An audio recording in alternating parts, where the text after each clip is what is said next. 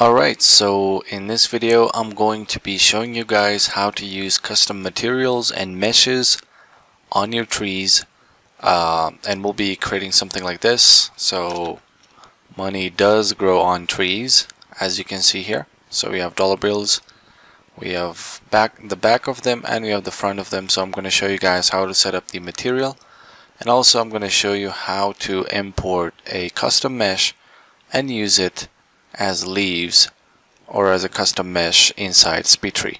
Alright, so I'm gonna go and create a new file here, blank, and I'm just gonna start by going to add button and create a trunk and then I'm going to add some branches and I do want to make sure that I'll have a lot of them. And also I'm gonna add another layer of branches and I'll make sure that I have a lot of them Alright, so what I'm going to do is select the third layer of branches, uh, sorry, the second layer, and I'm gonna go and add some leaves to them. So I'll probably add another branch as well. So I'm gonna select the second branches, add some leaves here. So I'm gonna go to leaf, and we can increase the amount and we'll change these settings later. But I want to add a texture to this. So I'm, I'm actually going to be using a hundred dollar bill texture on this. So I'm going to go to my materials and add a material. So I'll find where my dollar bill is. Alright so I have it here.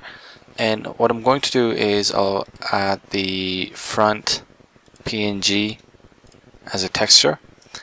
And I'm also going to add another material um, I'll just go hit cancel and I'll create a new material. And this is going to be the back. So I'll add the back PNG so we have the front sorry front and we have the back. So what I'm going to do is I'll just select this and take this front layer and with this hand drag it onto the leaves and you see that we have them but then we don't see the back of th those uh, leaves. So in order to see the back of them and see the back of the dollar so you need to go to the front and there is a back material as well. So I'm gonna go two-sided turn on two-sided and for the back material I'm gonna be using the back. Alright so you can see the back and the front is there. So the next thing would be to select them and go ahead. You can increase the number.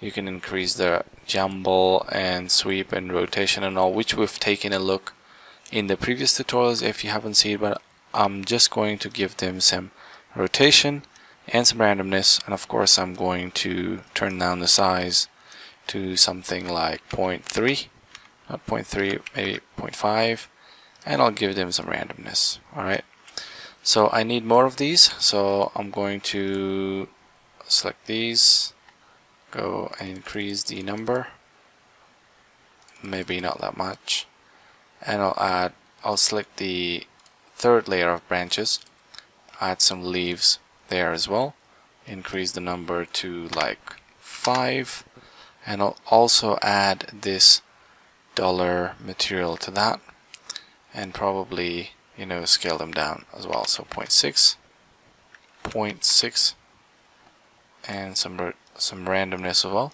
So you can go ahead and you can increase as many branches as you want and give them like what leaves here.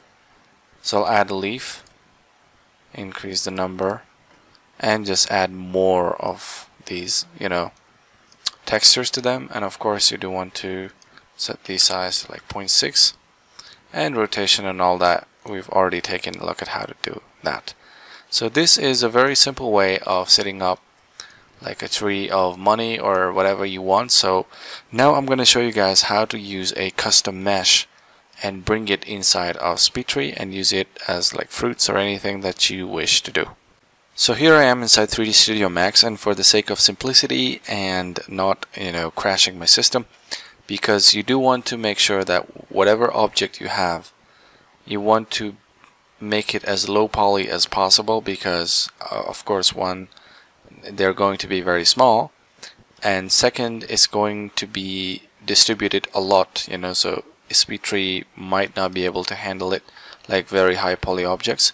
So it might crash. So what I'm going to do for now I'm just going to use a teapot or whatever you want. So you can just go ahead I'll draw a teapot here. And you want the pivot point to be the pivot point of every fruit. Like this is say it's a fruit an apple. The pivot point would be on the top right? So you would take from there. So I just want the pivot point of this object to be um, you know at the tip top of the object.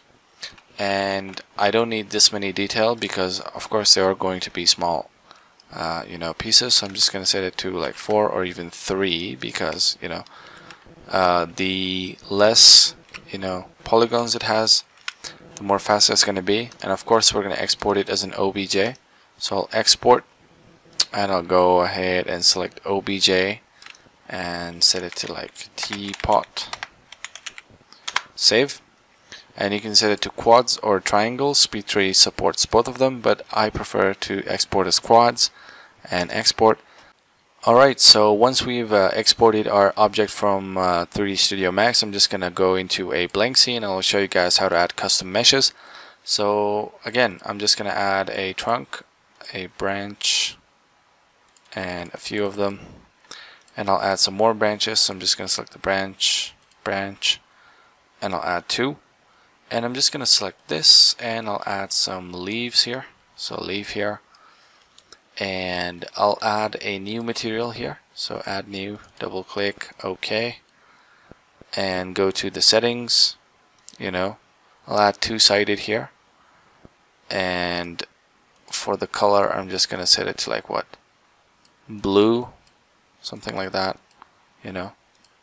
And for the opacity we don't want any maps and nor we do want any maps for all of those channels. And what I'm going to do is go to the meshes and I'll create new mesh as well. So add new. Okay. And I'll click on this plus button which will take me to you know importing a mesh. So I'm just gonna go to that folder that I exported my mesh here and I'm going to hit open. And here I have my mesh. So I'm just gonna go and apply this material to these leaves here. And instead of these colors and leaves I just want to go into my cutouts and meshes and I'm gonna add my teapot here. So now you will see that our teapot is actually replaced with that with those cards and I can just go ahead and increase the number. And you'll see that we have the teapots instead of leaves. So it's it's actually I mean it doesn't have to be like a teapot but as I said in the beginning of this video uh, I just wanted to show you guys simply so this can be any fruit. I've actually done it and as I've shown you guys in the introduction video but this is like how simple it is to add a custom mesh and use it inside SpeedTree so in this tutorial we learned about you know this how to use custom textures and how to you know bring custom meshes and use them as leaves inside SpeedTree so the possibilities are endless and yeah so this was the today's tutorial. And if you want to support me you can go ahead and support me on my channel FX Maniac. Subscribe if you haven't already. And if you want to support me to create more awesome content for you guys you can just go ahead and select a plan in my Patreon page and support me there. So this was the today's tutorial. We'll see you in the next one